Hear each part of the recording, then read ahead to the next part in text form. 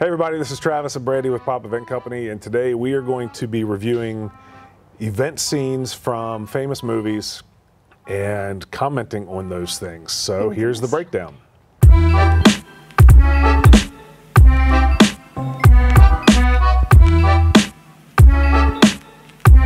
So the first movie that we're going to review is Dumb and Dumber, one of my favorites. It's the worst movie ever made.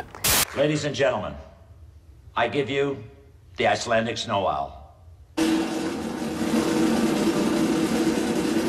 know it's sick, but this is my favorite part of the movie. These magnificent specimens con- Okay, go let's talk about animals, right? Animals at an event.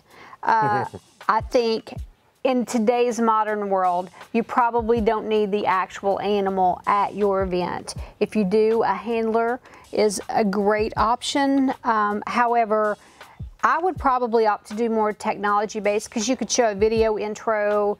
Uh, you can be a little more modernized with having animals. So, unless you're at the zoo, I probably wouldn't have an animal at my event. Well, if you do have an animal, make sure there's a really good, solid insurance policy that accompanies it, because anything with talons or anything with claws, teeth, uh, bad temper, um, Yeah. I think I think you want to make sure that you've got yourself covered in those instances, or anything that could spontaneously use the restroom.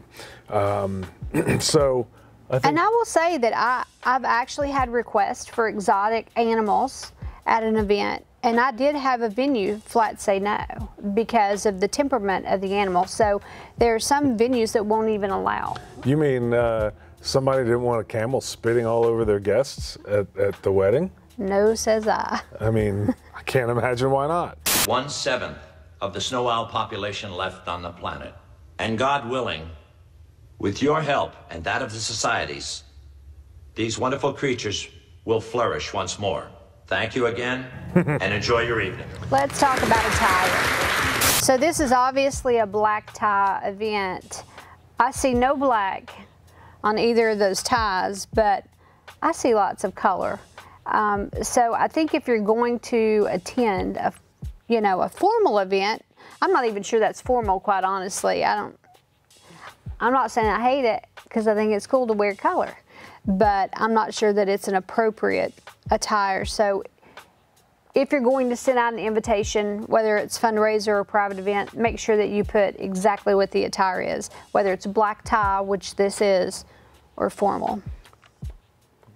And your response would be, I, I just think, you know, just put an asterisk at the bottom of the invitation that says, don't dress like the Mad Hatter or something like that. I think that'll cover just about either of those ensembles. yeah, Although I have to say, I want the orange one. thank you. I do. Okay, so the next movie is The Great Gatsby. uninvited.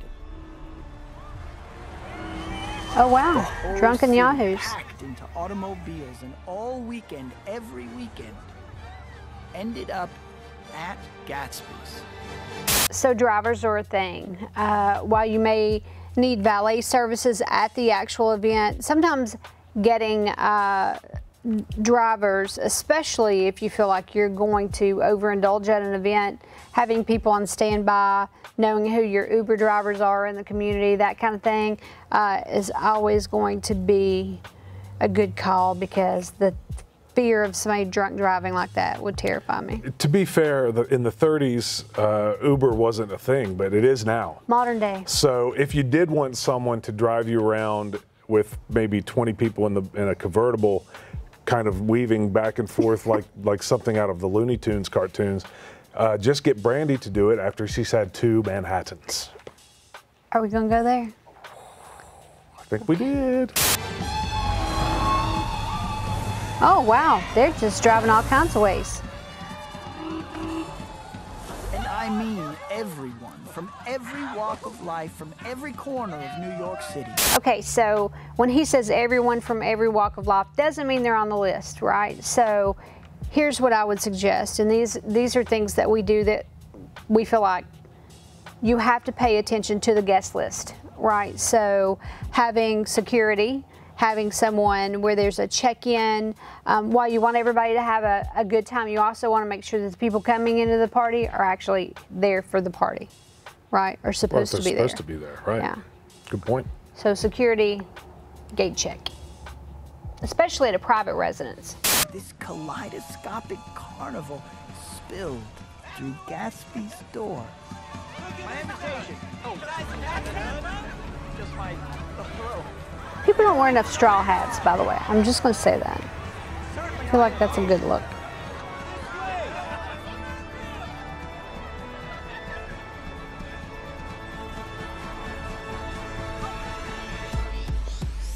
First impressions. It's the golden era of events. It is. It really is. I mean, like it's it's fantastic. But the- don't you think, especially if you're doing something at somebody's residence, you really want that immediate? Okay, this is what that party's going to be about. Yeah, and I think um, making sure that people are, you know, this is obviously, you know, this this event has a specific theme, and and uh, I think you want to make sure that people buy into that. Yeah.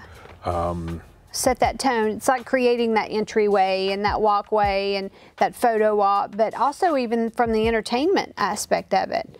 You know, having people that'll be interactive and entertaining at your event. It's very important. And, you know, those are the little details that make a huge impact at an event. I agree. You got to have a chandelier. Got to buy a chandelier.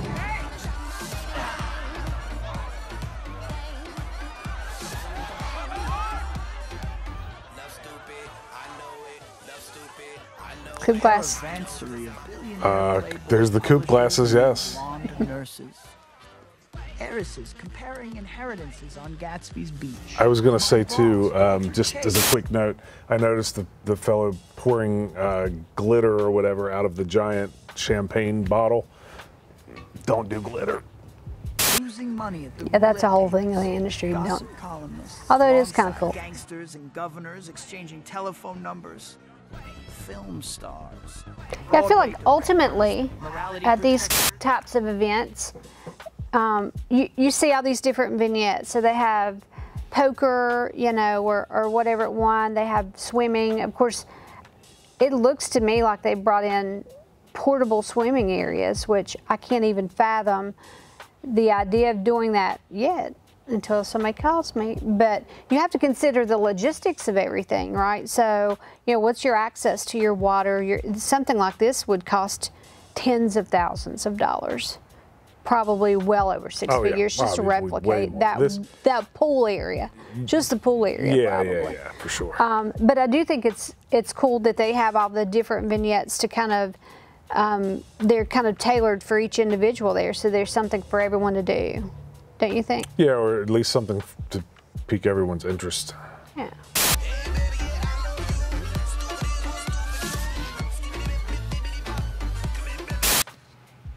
The aesthetics of this movie are amazing.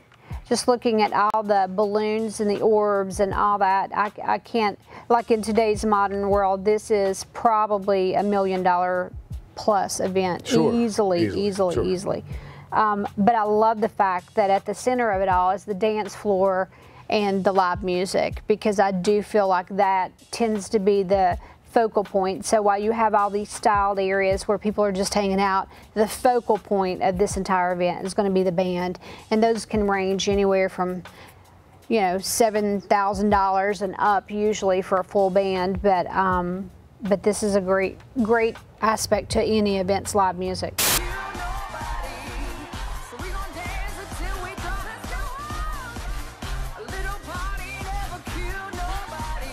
If anyone wants to plan an event exactly like this, let us know, uh, because this would be a lot of fun.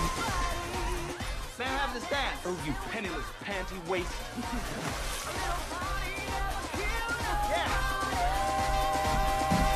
Mm. Oh, did you see what I saw? Yeah. People jumping on that ramp. They were kind of bouncing on the ramp over the pool. Let me just tell you, those are the things not nightmares are made of. Things that does happen too. It does. That so will happen. capacity is a big thing. Weight strength on those are huge. Having insurance event, you can never have enough event insurance when you're hosting an event, and you want everybody there to be insured, not the guests.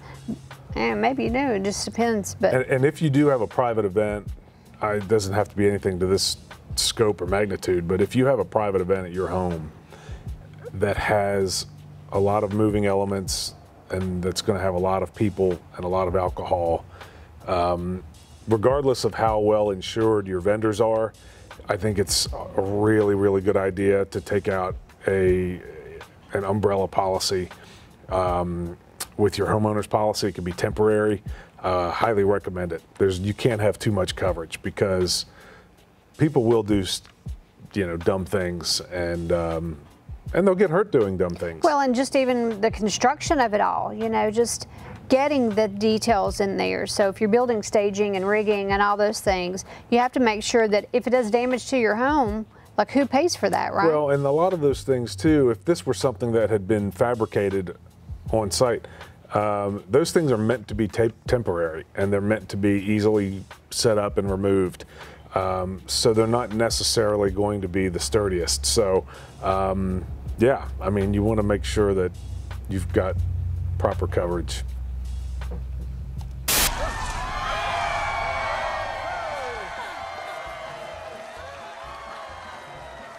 I'm stealing her away, Carraway. I'm going to go in this scene with waste management uh, because there's so much paper, there's so much confetti, there's so much trash that's going to be there tomorrow. Um, having a professional cleaning company is probably going to be a lifesaver in this. There are so many uh, commercial cleaning companies that would come in and do this, but for that type of event, you would probably want to go with somebody that would do sporting events, for instance, yeah, like yeah. actually work in a larger capacity, and that would probably cost several thousands of dollars. Yeah, it's worth it though. It um, totally would be. It, it is. I mean, we can do full production event planning that handles all the setup, the you know the event production, the teardown, and the cleanup. But this is a whole different level of cleanup that we're talking about. Um, if you're going to have confetti, glitter, and streamers at your event we're not cleaning it up. And so I'd like to suggest never glitter. Hire somebody never that can glitter. that knows what they're getting into. Glitter is forever.